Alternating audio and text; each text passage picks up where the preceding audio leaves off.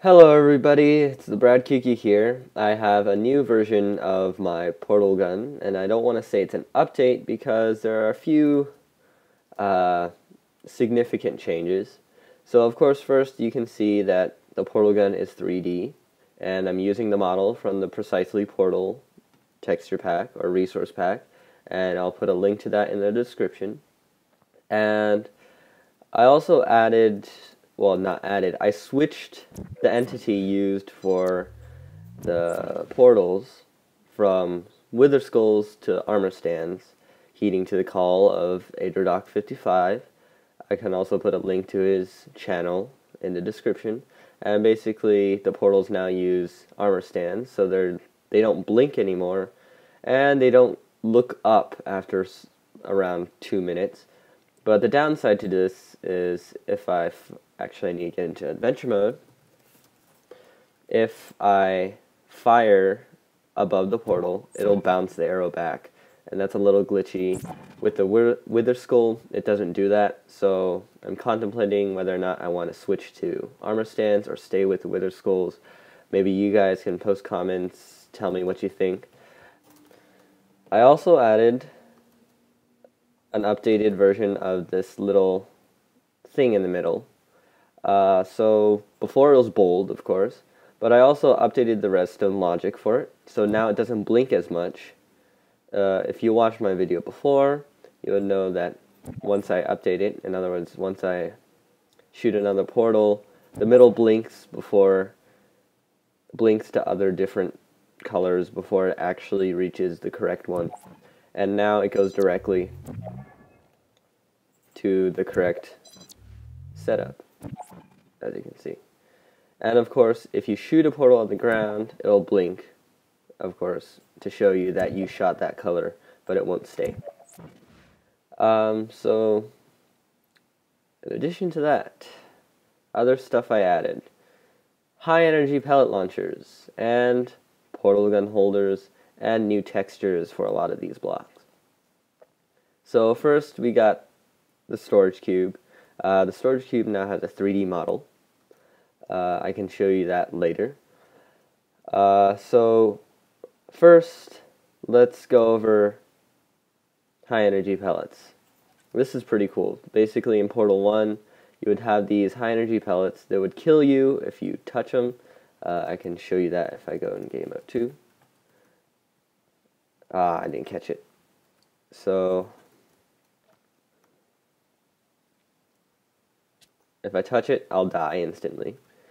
And that's also another feature I added, so if you touch lava or if you touch these, you'll die instantly instead of burn.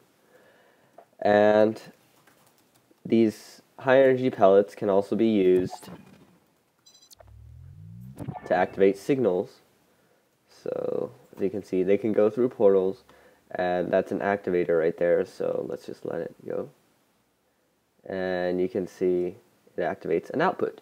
Now, of course, it's not 100% reliable. Sometimes it doesn't go through the portal. Can't really fix that. Alright, so moving on, we have the storage cubes. So the new score storage cubes, I enabled multiple storage cubes in the same map. So all you had to do is change the score here. This is cube 2, and you can see this one's cube 1. So to have different launchers, you just change the score. And you also have to change it in the kill command, wherever that is.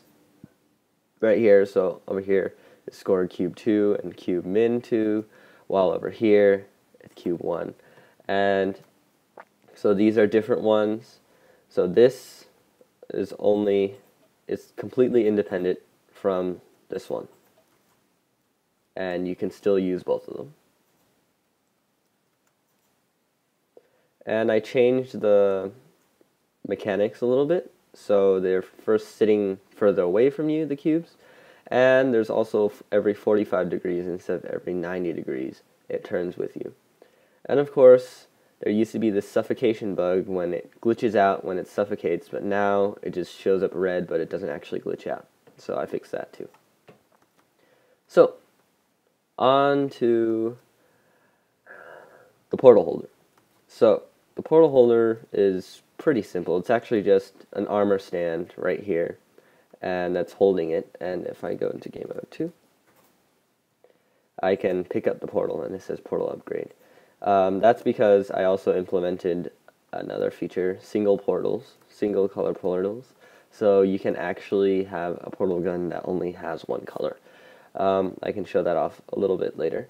So how do you set up one of these things, these portal holders? So all you had to do, get nether brick fence and a pot. So you first place down the nether brick fence. Then you stand on top, you do t slash set block. Uh, dash dash negative one dash uh, flower pot, I believe. Yes. And there you have it. There's the pot. Now what you had to do is you had to get an armor stand.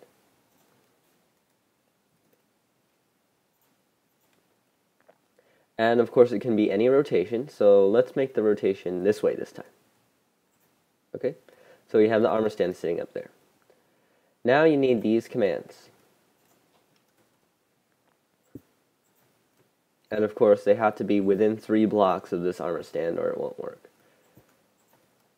Okay? And you activate them and it'll disappear. But it didn't actually disappear, it's just invisible now. So now you can actually place it in the armor stand hand. And of course, you can do final adjustments. So right now this is a little bit off. So I want it to go in the positive Z. So I'm going to TP at E type uh, armor stand. Tilde, tilde, I think it was positive Z, right? So 0.3. And there you go. That. Oh, and I also screwed this up. So you have to be careful um, when you get here you have to make sure you have a radius here.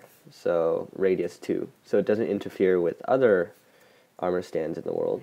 So I think this will fix it again. There. And there you go. You have a portal holder. And I forgot to mention that you can actually detect an output from these portal holders. All you had to do is turn this clock right here on. You had to set up something similar. Basically, it's looking for an armor stand within a radius of 5 with a portal in it. So as soon as I take out both of these, it'll have an output. Moving on to the single portal colors. So the single portal gun is right here. And if I get a single portal gun, it only can fire one color, the color that's selected in your scoreboard. Um, so you can change that color, but you cannot change it with Q. Q doesn't do anything. Uh, it only can be changed through command blocks, so if you're a map maker, you can actually have control of that. So I'm going to reset it to blue, because that's what the default is. And you can see it can only shoot blue portals. I cannot shoot orange portals, no matter how much I press Q. And to upgrade this portal gun to a two-color portal gun, all you had to do is take the upgrade, and it'll upgrade it to the two color. That's pretty simple. And of course, if you want to get that upgrade portal gun, it's different from the single color and the double color. This is called upgrade gun. You just get it. If you're a map maker, you can get it, and then you just place it on the holder you want. So when a player comes and takes it, their gun will be upgraded. Of course, given that they're holding a single portal gun. Alright, so, uh, now that I think that's pretty much it. If I missed something, I might insert it somewhere uh, into the video. And alright, let's move on to the gameplay. So, I made a few more levels, and if you guys don't want them to be spoiled by me, then you probably should stop watching the video right now. Uh, I'm going to begin a speed run to, for the solutions to the old levels as well as an introduction to the new levels. So let's begin. Portal here, portal there, and we go. And that's a glitch sometimes. The creeper is actually there, it's just not rendering. After you log out and log back in, anything that's not rendering will render. Um, it also happens with storage cubes and uh, portal gun holders and all those stuff.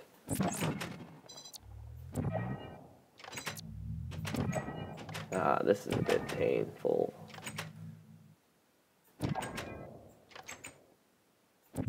There you go.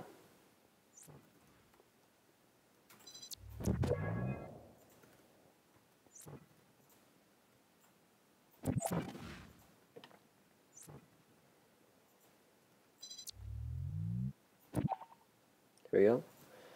And this time I was able to stream sound onto this video. So that's interesting.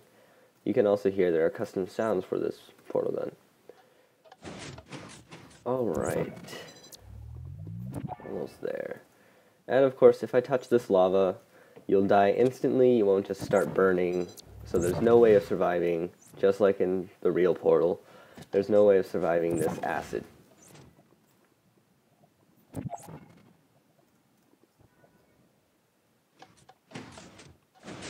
So this is a new level. Uh, it utilizes the high energy pellet launcher. So let's just get through it.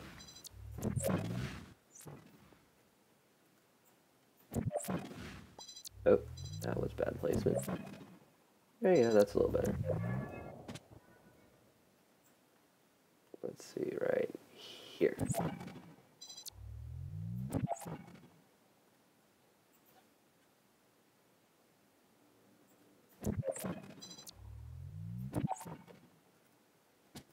And of course, the high energy pellet bounces back and forth forever until it touches something that it can't bounce off of, which is at the moment clay and these lamps and the catchers. Right?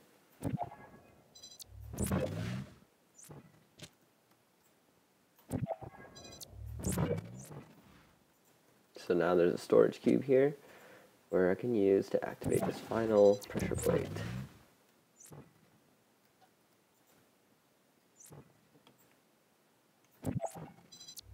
There we go. And that was done. Alright, this one uses deactivation of an emancipation grid. So you can see it deactivates for a certain period of time and reactivates. So I can utilize that too. It's just a teleportation of the creepers that create the emancipation grid. Oh, it's quite annoying. Oh no, the grill just reset my portals, so I had to put some new ones. There we go. Let's not screw it up this time.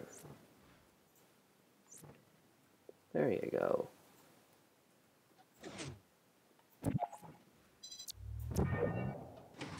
And of course, if you're a map maker, you have to be sure you kill the storage cubes before you finish the map with a pressure plate, or else you're going to have a lot of storage cubes. Same thing with the energy pellets.